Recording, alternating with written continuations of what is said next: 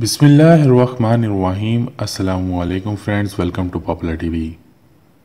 Singapore, تریسٹھ بڑے اور چھوٹے آئی لینڈ سے مل کر بنا کافی چھوٹے ملکوں میں سے ایک ملک ہے۔ رقبے کے لحاظ سے یہ ملک دنیا میں ایک سو ستتر نمبر پر آتا ہے۔ اس کی آبادی چھپن لاکھ کے قریب ہے۔ یہ ملک رقبے کے لحاظ سے چھوٹا ہے۔ اس لیے یہاں پر قدرتی وسائل کی کمی ہے۔ لیکن اس بات کا اس پر اثر نہیں پڑتا۔ یہ ملک پانی تک کو امپورٹ کرتا ہے۔ پھر بھی یہاں امیروں کی کوئی کمی موجود نہیں ہے۔ سنگاپور کا ہر چھٹا انسان کروڑ پتی ہے۔ سنگاپور میں کوئی غریب یا بھیک مانگتا ہوا انسان ملنا بہت مشکل ہے۔ سنگاپور میں بے روزگاری کا نام و نشان ہی موجود نہیں ہے۔ سنگاپور میں آپ کو بے حد اونچی اور عالیشان بلڈنگز اور کافی خوبصورت باغات دیکھنے کو ملیں گے۔ کچھ سال پہلے یہ ملک ایسا نہیں تھا جیسا اب ہے۔ صرف پچاس سے ساٹھ سال پہلے یہ ایک چھوٹا سا قصبہ تھا جہاں پر رہنے والوں کو کچھ گینگ والے کنٹرول کرتے تھے۔ یہاں پڑھے لکھے لوگ موجود نہ تھے۔ نہ ہی یہاں کے لوگوں کے پاس رہنے کے لیے اچھے گھر موجود تھے۔ لیکن اچانک ایسا کیا ہوا کہ یہ ملک دنیا کے امیر ترین ملکوں میں شمار ہونے لگ گیا اور بے حد مقبول ہو گیا۔ آئیے اس راز سے پردہ اٹھاتے ہیں کہ سنگاپور اچانک اتنا امیر کیسے ہو گیا۔ انیس سو پینسٹھ میں سنگاپور ایک آزاد ملک بنا، تب یہاں کی نئی حکومت نے اسے مضبوط اور خوشحال بنانے کا سوچا اور انیس سو ستر سے اس ملک کی اکانومی کی بڑھوتری صحیح طریقے سے ہونے لگی اور یہ ملک ہم سب کے سامنے ہے، جہاں ہر کوئی گھومنے کے لیے رہنا چاہتا ہے۔ سنگاپور میں پہلے بہت سے مسائل تھے، جن کو حل کر کے اس کو امیر بنایا گیا۔ پہلا مسئلہ بے روزگاری کا تھا۔ گورنمنٹ چاہتی تھی کہ یہاں کے شہری ذمہ دار بنے اسی لیے اس حکومت نے بہترین ٹیکس سسٹم متعارف کروایا۔ پر یہ نظام کافی دلچسپ تھا۔ ہر ملک کی گورنمنٹ اپنے شہریوں سے ٹیکس لیتی ہے تاکہ شہریوں کی ضروریات کو پورا کیا جا سکے۔ سنگاپور کی گورنمنٹ بھی یہی چاہتی تھی، لیکن اس نے ایک ٹرک استعمال کی۔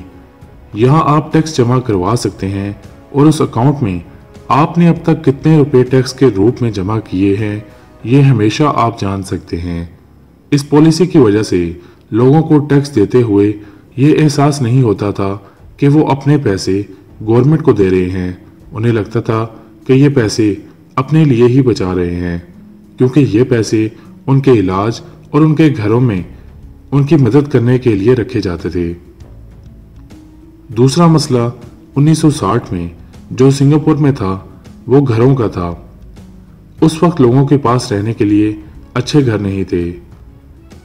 اس مسئلے کے حل کے لیے گورنمنٹ نے ہاؤسنگ اینڈ ڈیولپمنٹ بورڈ بنایا، جس کا مشن پانچ سالوں میں پانچ ہزار نئے گھر بنانا تھا۔ سنگاپور کی حکومت نے اپنے ملک کو سنوارتے ہوئے بہت سی کمپنیز اور انڈسٹریز کو جنم دیا، جس کی وجہ سے اس ملک کی بے روزگاری دن با دن خاتمے کی طرف بڑھنے لگی۔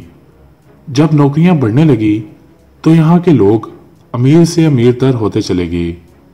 اسی وجہ سے انیس سو پینسٹھ میں جب سنگاپور کی پر کیپٹا انکم پانچ سو ڈالر تھی، وہ انیس سو اکانوے میں چودہ ہزار پانچ سو ڈالر پہنچ گئی۔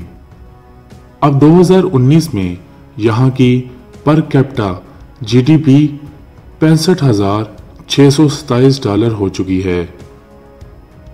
جو ملک انیس سو ساٹھ پہ غریبی اور بے روزگاری میں گھرا ہوا تھا، اب دو ہزار انیس میں کیسا ہے؟ آئیے جانتے ہیں۔ دنیا میں آبادی کے حساب سے سب سے زیادہ کروڑ پتی یہاں ہی موجود ہیں۔ کرپشن یہاں نہ ہونے کے برابر ہے۔ اور بے روزگاری کا تو نام و نشان ہی نہیں ہے۔ یہ ملک رقبے کے لحاظ سے چھوٹا ہونے کی وجہ سے یہاں قدرتی وسائل کی کمی ہے۔ یہاں پر کھیتی باڑی نہ ہونے کے برابر ہوتی ہے۔ لیکن چھوٹا ہونے کا اس کو ایک فائدہ یہ بھی ہے کہ اس کی لوکیشن ایسی جگہ پر ہے جہاں سے یہ اپنے سمندری راستے کی وجہ سے پوری دنیا سے آسانی سے منسلک ہے۔ اس کی بندرگاہ دنیا کی دوسری سب سے بڑی بندرگاہ ہے۔ سنگاپور کا ہاؤسنگ اینڈ ڈیولپمنٹ بورڈ کافی نفیس اور دل کو چھو لینے والے طریقے اپناتا ہے۔ اگر آپ گاڑی کی جگہ پبلک ٹرانسپورٹ یعنی ٹرین میں سفر کرتے ہیں، تو آپ کو ایک ایپ کے ذریعے انسینٹیو دیے جاتے ہیں۔ کیونکہ آپ پولوشن میں کمی کا سبب بنے۔ یہاں بڑی بڑی عمارتیں ہونے کے ساتھ ساتھ ہریالی بھی بہت ہے۔ سنگاپور کافی ٹورسٹ کو اپنی طرف اٹریکٹ کرتا ہے کیونکہ یہاں گھومنے کے لیے بہت اچھی جگہ موجود ہیں، جن میں universal studio Marina resort, infinity pool اور ایک نیچرل پارک جو دو سو پچاس ایکڑ میں پھیلا ہوا ہے، اس میں موجود ہے۔ اس باغ میں ہر سال کروڑوں ٹورسٹ آتے ہیں۔ اسے بنانے کا مقصد خوبصورت باغ کے علاوہ پولوشن سے شہر کو بچانا بھی ہے۔ فرینڈز، مجھے یقین ہے میری آج کی ویڈیو آپ کو اچھی لگی ہوگی۔ مزید اچھی اچھی ویڈیوز کے لیے ہمارے چینل پاپولر ٹی وی کو سبسکرائب کریں، اس ویڈیو کو لائک کریں اور کمنٹ میں اپنی رائے کا اظہار ضرور دیجیے گا۔ آپ سے ملاقات ہوگی میری اگلی ویڈیو میں۔ تب تک اپنا اور اپنی فیملی کا بہت خیال رکھیے گا۔ فی مان اللہ اللہ حافظ۔